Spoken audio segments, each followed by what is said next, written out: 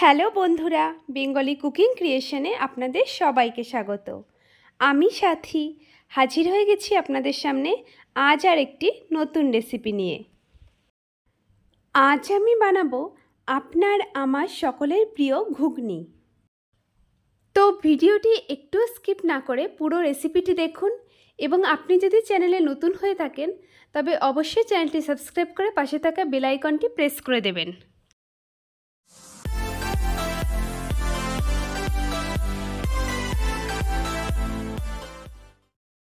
ঘুগনি বানানোর জন্য আমি নিয়েছি দুশো গ্রাম গোটা মটর।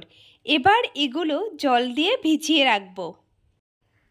এখন প্রায় বারোটা বাজে আর আমি ঘুগনি রান্না করব সন্ধেবেলা। তো মোটামুটি ধরুন প্রায় চার পাঁচ ঘণ্টা মটর জলে ভেজানো থাকবে।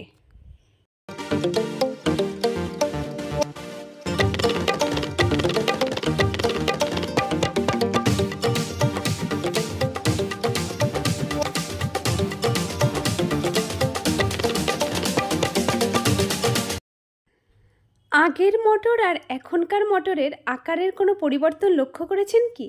মটরগুলো কিন্তু এত ঘণ্টা জলে ভিজিয়ে রাখার ফলে আকারে অনেকটাই বড় হয়ে গেছে। এবার মটর প্রেশার কুকারে কিছুটা সেদ্ধ করে নেব। এবার একটা প্রেশার কুকারে জল ঝরিয়ে মটরগুলো দিয়ে দিলাম। এবার দিলাম কিছুটা পরিমাণে ফ্রেশ জল এবং নুন। প্রেশার কুকার আমি ওভেনে বসিয়ে দিয়েছি। এরপর মোটামুটি চার থেকে পাঁচটা সিটি হলেই কিন্তু ওভেনের আঁচ বন্ধ করে দেব।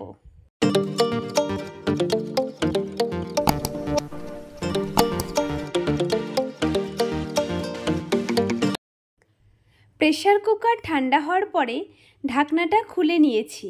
তো আপনারা এখানে দেখতেই পাচ্ছেন যে আমার মটর কিন্তু প্রায় সেদ্ধ হয়ে গেছে।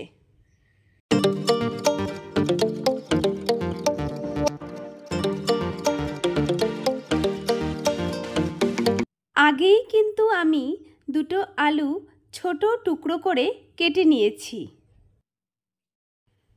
এখানে পেঁয়াজ কেটে রাখা আছে আর আমি খুব সামান্য পরিমাণে আদা এবং রসুন কেটে নিয়েছি।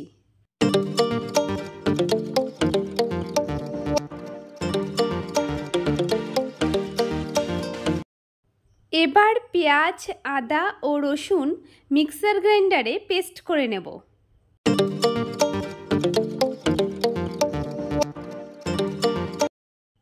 ওভেনে একটা কড়াই বসিয়ে দিয়েছি এবং তাতে দিয়ে দেব কিছুটা পরিমাণে রিফাইন তেল। এর সাথে কিছুটা সর্ষের তেল অ্যাড করে দেব। এরপর দিয়ে দেব দুটো তেজপাতা। আমি অনেক রান্নাই সর্ষের তেল এবং রিফাইন তেল মিশিয়ে করি। তাতে রান্নাটা বেশ ভালো হয়। আপনারা চাইলে যে কোনো একটা তেল দিয়েও করতে পারেন। আদা ও রসুন বাটা একসাথে দিয়ে দিলাম।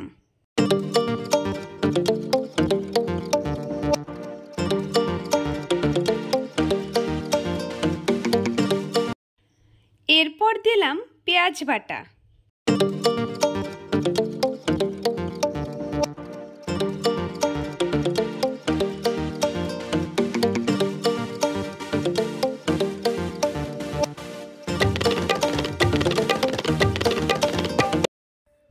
এরপর দিচ্ছি পরিমাণ মতো নুন। এরপর দেব হলুদ গুঁড়ো এবং লঙ্কা গুঁড়ো। এরপর সমস্ত মশলা একসাথে ভালো করে কষিয়ে নিতে হবে। এখন আলুর টুকরোগুলো দিয়ে দিলাম।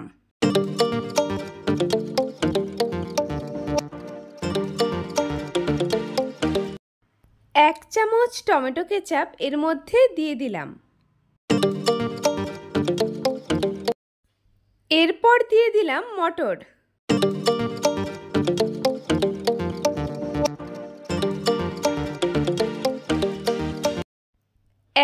পাত্রে আমি আগেই জল গরম বসিয়ে দিয়েছিলাম।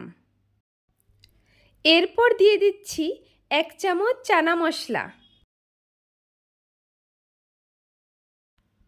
এবার গরম জল মটরের মধ্যে দিয়ে দিলাম। আপনারা কিন্তু ঠান্ডা জল দেবেন না, তাহলে মটর শক্ত হয়ে যাবে।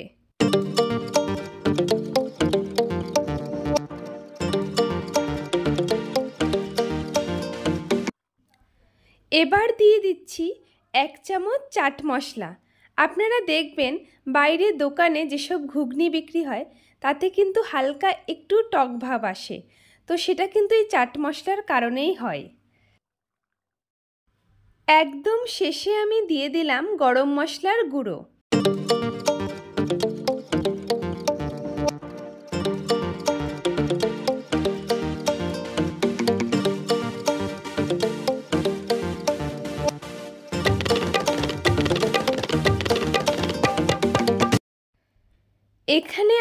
ঘুগনি কিন্তু রেডি হয়ে গেছে।